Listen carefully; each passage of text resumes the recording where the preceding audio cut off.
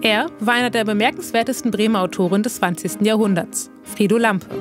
Die Ausstellung in der Universitätsbibliothek Bremen zeigt das Leben und die Werke des Autors.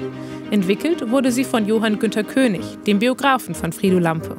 Die Texte von Frido Lampe sind zeitlos, wie gute Literatur zu sein hat. Die können Sie auch noch in 100 Jahren lesen. Sein erstes Buch, Am Rande der Nacht, erschien im Herbst 1933.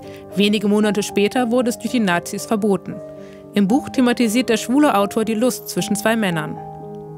Er bringt die Homosexualität ins Gespräch, indem zwei Ringer äh, miteinander äh, sich austauschen, wenn man so will. Das muss man aber selber lesen, weil es sehr spannend ist. Es ist nach wie vor spannend, wie er thematisiert, dass Menschen gleichgeschlechtlich sind, aber ein, in einer Umwelt existieren, die das eigentlich nicht will.